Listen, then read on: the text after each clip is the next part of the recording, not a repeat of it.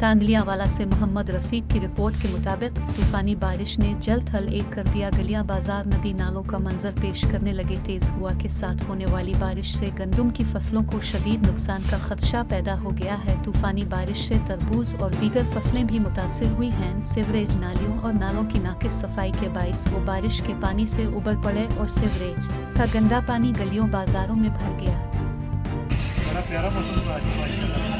ਭਾਈ ਮੌਸਮ ਪਿਆਰਾ ਤਾਂ ਹੋਵੇ, ਜੇ ਤੇ ਸਫ਼ਾਈ ਦਾ ਇੰਤਜ਼ਾਮ ਹੋਵੇ, ਪਾਣੀ ਤੇ ਜਗ੍ਹਾ ਜਗ੍ਹਾ ਖੜਾ, ਮੌਸਮ ਆ ਕੇ ਸਭ ਜ਼ਿਆਦਾ ਖਰਾਬੀ ਕਰ ਦਿੰਦਾ, ਬਾਰਿਸ਼ ਪੈ ਕੇ ਆ ਤੁਹਾਡੇ ਸਾਹਮਣੇ ਸਫਾਈਆਂ ਹੋਈਆਂ ਪਈਆਂ, ਜਗ੍ਹਾ ਜਗ੍ਹਾ ਪਾਣੀ ਖੜਾ ਹੈ।